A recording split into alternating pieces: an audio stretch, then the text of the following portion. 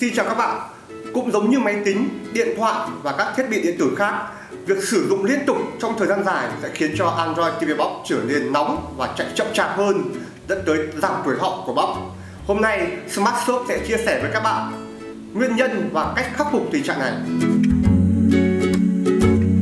Điều này xảy ra khi bạn chạy quá nhiều ứng dụng cùng một lúc hay tải quá nhiều các ứng dụng về bóc khiến cho chúng chạy ngầm làm tiêu tốn dung lượng RAM cũng như bộ nhớ trong của máy cũng như làm cho CPU hoạt động hết công suất khiến cho nhiệt lượng tỏa ra rất nhiều.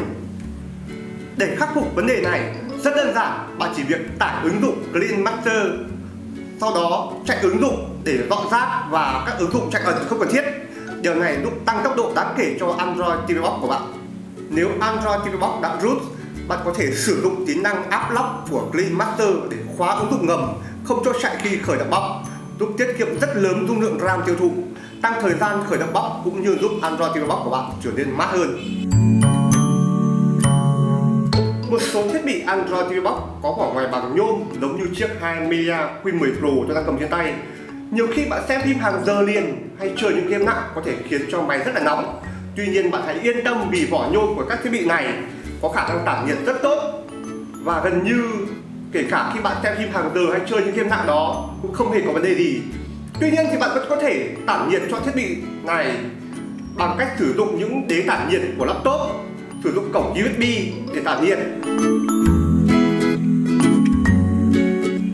nguồn điện không ổn định cũng là một nguyên nhân gây quá nhiệt cho Android TV Box.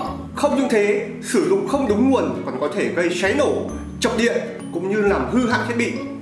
Chính vì thế, hãy sử dụng đúng nguồn dành riêng cho Android TV Box theo đúng thông số kỹ thuật để đảm bảo an toàn cho gia đình bạn và cả chiếc Android TV Box của bạn. Hiện nay, Android TV Box có hai loại nguồn chủ yếu là loại 5V và loại 12V.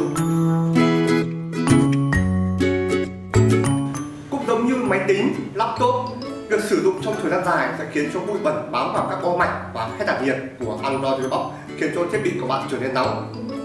Chính vì thế, bạn hoàn toàn có thể tháo bỏ bóc và vệ sinh máy. Nếu như bạn không thể tự làm được việc này, hãy nhanh chóng mang đến smartshop chúng tôi sẽ hỗ trợ các bạn miễn phí.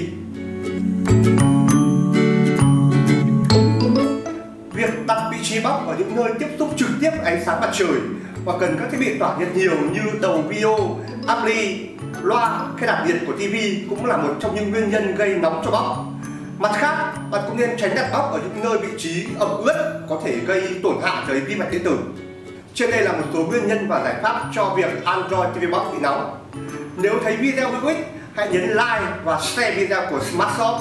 Còn bây giờ, xin chào và hẹn gặp lại.